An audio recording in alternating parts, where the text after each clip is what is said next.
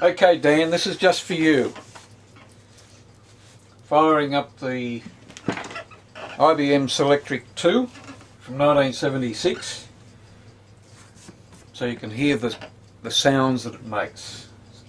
So we'll put the paper in first.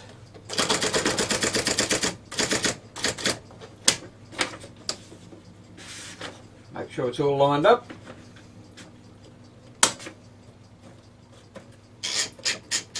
Hold it back to the top and then away we go.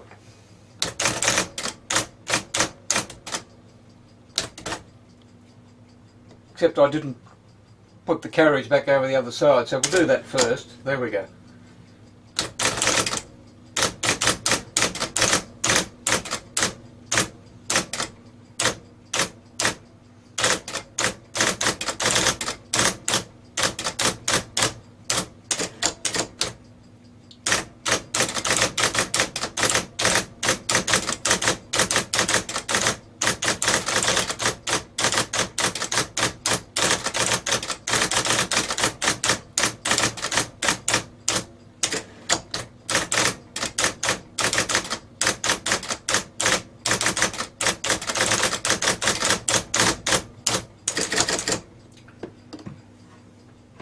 There you go.